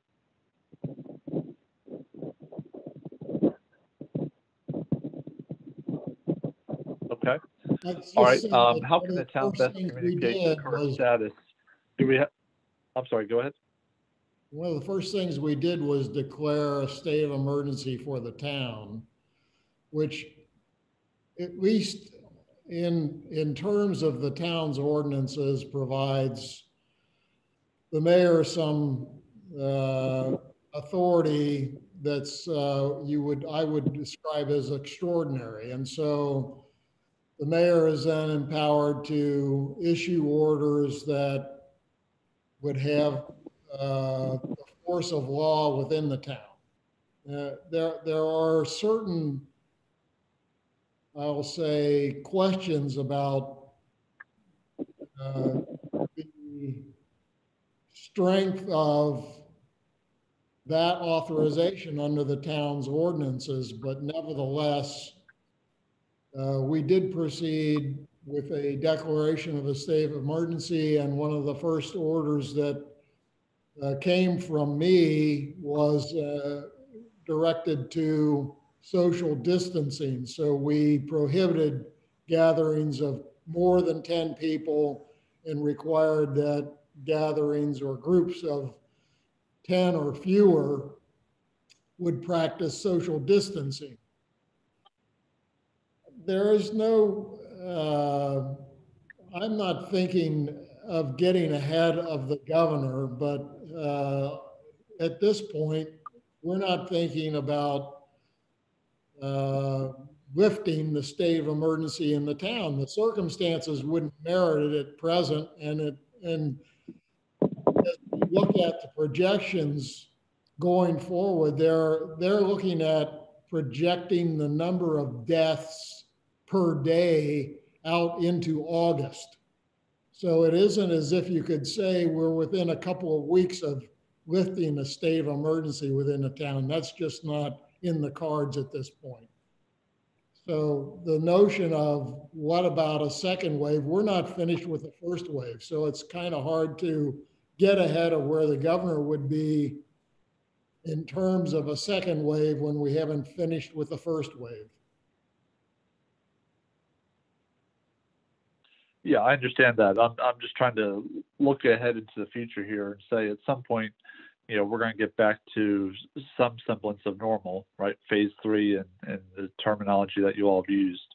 And um, then it's quite possible that whether it's in the fall, winter, or sometime next year, that we do have a, another wave. And you know, the question is, do we wait for the governor to um, reenact some of the uh, orders that are currently in place, or do we, you know, uh, preempt that and and take matters into our own hands to start shutting down operations and other things. So I, I don't know that that's necessarily a, a long discussion we have to have now, but certainly something I think each entity needs to consider. Um, again, I was just pointing out the other item here, um, and Mary, you mentioned the uh, state of emergency order. Uh, do, we have a good process in place. I, I know through hurricanes, other things we've been through, it seems like we have a pretty good communications process. Is that working uh, equally well for this pandemic in terms of communicating orders from the town and, and other entities out to the public? I would say that it's been working satisfactorily. We've, we've issued, I think we're up to number 17 of our public information statements uh, the public information state, we use the channels of the local blog Tidelines. We use our uh, Twitter feed. We use our Facebook uh, account. We also put the uh, public information statements up on our website. If you go to our website, the homepage of the website reflects a special coloring that indicates something is different as far as the town is concerned. So all of these indicators are in place and the channels for communication are in place. I'm, I believe, I haven't really been tracking it closely, but I believe that SAPOA has been copying over our public information statements and disseminating those to the property owners. That's correct. That's what they usually do anyway, so yeah. That's, that's what we've been doing. Yeah. So whatever we might miss, Scott, through, as I said, our, our uh, Twitter feed or Facebook page or our website, we still have the benefit of the email distribution that SAPOA has, has traditionally done for our statements. Yeah, I would add, we had uh, Tidelines too. They've been running all of our um, public information statements. Um, I would say the only hiccup that we've had so far would be um, uh, we have really good contact information for all of our uh, rental management companies. Um, you know, the Coastal Getaway, Seabrook Exclusives, Pam Harrington, you know, whoever are, managing um, uh, large blocks of, um, of rental units. Um, we've had a bit of an issue um, getting uh, reliable contact information um, where we can send out rapid uh, notifications to the um, the individual owners uh, who have one unit or one or two units. Um, and uh, so we know a lot of them have been getting the information through uh, the public information statements, whether it's the website, social media, POA, or Tidelines. Um, we were actually going through, uh, and for a lot of them, we we didn't even have an email address. So when we send out the notices, we have a um, a pretty extensive mailing list, and we have all the main uh, rental companies, but we uh, did not have email addresses for uh, a lot of the the smaller um, owner managed um, units. So uh, for those, some of them we had to uh, contact them individually um, by phone. Um, and then for some of them, we um, we had our administrative assistant was actually going through because we were checking to see um, when units were being offered for rent on some of the major um, rental uh, rental platforms, um, where she was actually going and pulling up the uh, individual uh, advertisement and contacting them through Airbnb or um, through uh, uh, VRBO or HomeAway or whatever. Um, so going forward next year, that's something we definitely want to make a priority uh, is to make sure that we're getting um, reliable uh, contact information, preferably email, uh, for all of the um, uh, anyone who has a um, licensed rental property. Uh, that would certainly make it easier to distribute the information when we have something like a, a temporary restriction on rentals to make sure we're hitting everybody with that information uh, very uh, as efficiently as possible. Excellent. Thank you, Joe. And thank you, uh, Mayor. So it, sounds like we're in pretty good shape for uh, communications. Again, um, I think we've done a great job with that for from past events as well. So glad to hear that's all continuing. Um, other considerations or thoughts uh, for preparing for the, for whenever the next wave uh, may occur.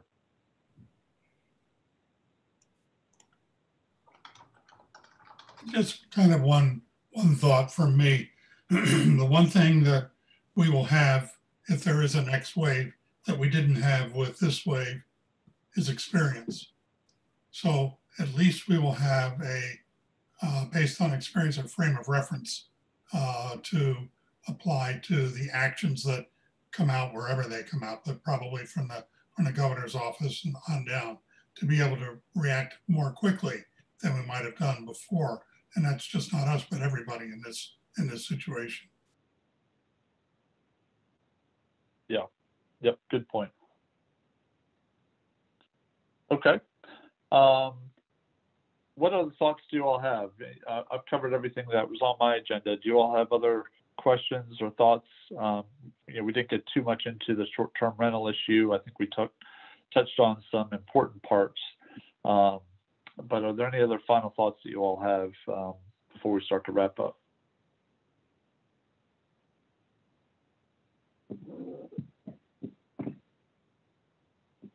Okay.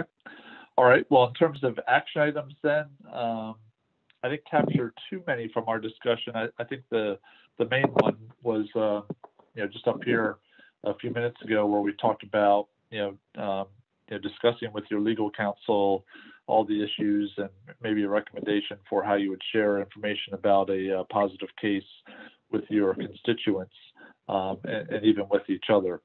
So um, that's probably an important action item. And then also to think about the triggers. You all have uh, done a great job of coming up with the phases for reopening, but also thinking about what those triggers and, and closing phases might be um, if, if we have to go back into lockdown or into a phased uh, approach back to lockdown. Um, in terms of our next meeting topics and potential dates, I, I, do think there's a need for us to spend more time talking about hurricane season and how a hurricane can be much more challenging um, in the midst of this pandemic. so whether that's you know another meeting like this or a, a tabletop exercise, virtually or otherwise, um, I do think that's probably the next thing that we need to discuss and plan. Um, does anyone from the, the town have any thoughts there about trying to coordinate that with the DRC?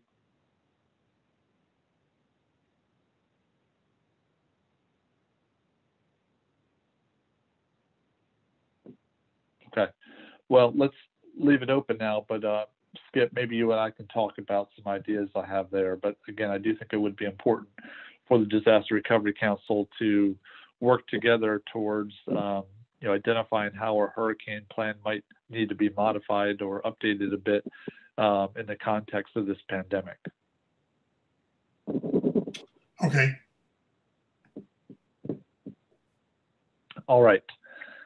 Very good. Well, I don't have anything else, Skip. Uh, if you have anything you want to give closing thoughts or anything before we adjourn? I, I would close as, uh, as I open by thanking everybody for giving me your time and, and uh, your ideas as we uh, have struggled through this, this thing that uh, is is new to all of us. Scott was just talking about uh, getting ready for hurricanes. This pandemic is the hurricane that doesn't go away, apparently. Uh, so let's hope we don't have too many things compounding what we're doing. Uh, but I do thank you, and I would like to hear from folks uh, as to what you thought about the format of this meeting. How we might uh, do a little better job if we're going to continue with virtual meetings uh, and all those things to help us be more effective. Other than that, Scott, that's it. Okay. All right. Well, uh, if no one has anything else, then I, I don't know if I can adjourn or if that has to be someone from the town to officially adjourn us. Well, Joe, I guess I think that's something that uh, I should do as convening the meeting. So I think we can just declare that we're adjourned. Thank you, everyone. Very good. Thank you all. I'll, I'll, I'll provide some notes and send them out um, within the next week. Great. Thanks. Thanks. Thanks. Goodbye, everybody. Thank you. Thank you. Bye-bye.